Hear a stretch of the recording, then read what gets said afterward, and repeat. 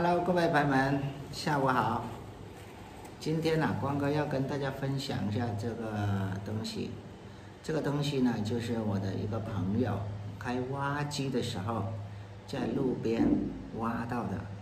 然后挖到这个东西之后呢，他要挖旁边又挖了几个小时，都没有发现，只看到这一个东西。但是这个东西究竟是什么东西呢？光哥不是卖关子啊，其实我们也不懂，所以呢，现在呢，我就要跟大家分享一下，看一下有谁认识这个东西到底是什么样的东西啊？当然，你这样子会看不清楚啊。我们也在网上查了一下，说的是什么什么蛋啊，还是什么化石还是什么东西，反正是搞不通的。所以呢，看一下有哪位网友有需要的，或者是想要了解是什么的，或者你知道是什么东西的，欢迎给光哥留言。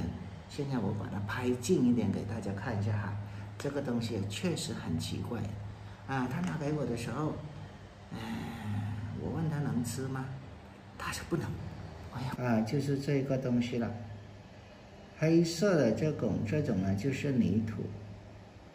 啊，还有，我们可以稍微的看一下，我们就不拆出来了，因为这么珍贵的东西，我们也不知道是，是是等下搞那个了也不好，是吧？哎，帮忙再看一下哈，就这样。然后呢，我们的这个老板呢，他就把它就挖烂了一点，大家可以看一下里边，里边的话呢，就是这个形状的。啊，就这个形状，嗯，有点硬，它的重量呢并不是很重，嗯，哎，应该是二三十克吧。你们看一下这纹路啊，只有一个哦，很奇怪哦，都没有多少哦，都没见过哦，